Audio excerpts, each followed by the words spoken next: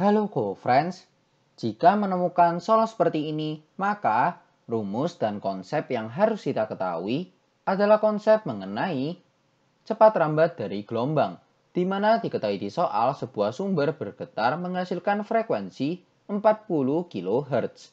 Maka nilai dari F atau frekuensinya adalah bernilai sebesar 40 kHz atau adalah sama dengan 40 dikalikan dengan 10 pangkat 3 Hz ya karena kilohertz menuju hertz dikalikan dengan 1000. Panjang gelombang bunyi tersebut adalah berapa? Maka yang ditanyakan adalah nilai dari lambda jika cepat rambatnya atau nilai dari V-nya adalah bernilai sama dengan 1500 meter per second. Maka kita harus tahu rumus dari V atau cepat rambat dari gelombang memiliki rumus adalah sama dengan lambda dikalikan dengan F. Di mana V adalah cepat rambat dari gelombang, lambda adalah panjang gelombang, dan F adalah frekuensinya.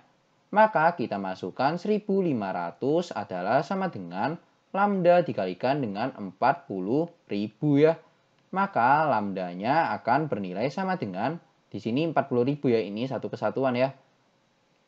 Berarti lambdanya adalah sama dengan 1500 dibagikan dengan 40.000. Maka di sini nolnya bisa kita coret-coret seperti ini Kemudian bisa kita bagi 5, kita dapat 3 di sini, kita dapat 8 di sini.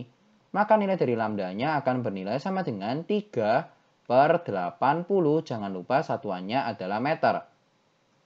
Maka panjang gelombang bunyi tersebut jika cepat rambatnya 1500 meter per second adalah bernilai sebesar 3 per 80 meter untuk nilai dari lambda atau panjang gelombangnya.